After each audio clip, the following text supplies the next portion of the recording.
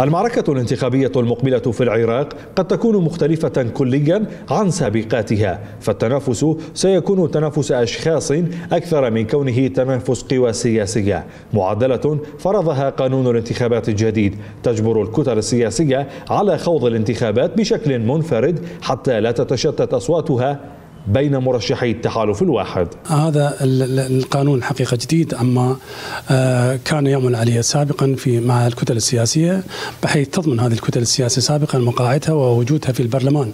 اليوم تغير الوضع الحقيقة من خلال هذا القانون وهناك طبعا تكتلات جديدة شبابية صاعدة إلى الانتخابات وستحقق أعتقد آه، فالطفرة نوعية بتواجدها مستجدات جديدة تجعل ماراثون التحالفات ينطلق بعد الانتخابات لا قبلها. حراك أولي بين عدد من زعامات القوى السياسية لغرض تشكيل تحالفات ما بعد إعلان النتائج يدور الحديث عنه. فكل كتلة كبيرة تسعى إلى جمع أكثر عدد من المقاعد بغية تشكيل أغلبية برلمانية تستطيع من خلالها الظفر بتشكيل الحكومة. سوف يعقدون صفقات فيما بينهم رؤساء الكتل رؤساء الأحزاب وسوف يتفقون ويتفاهمون على كل شيء.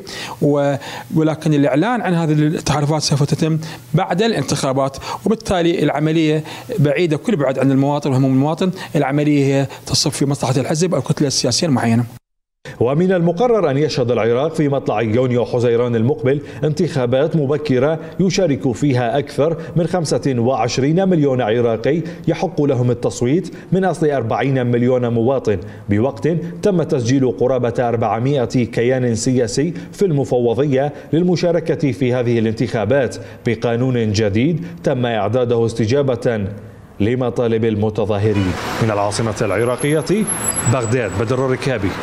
اليوم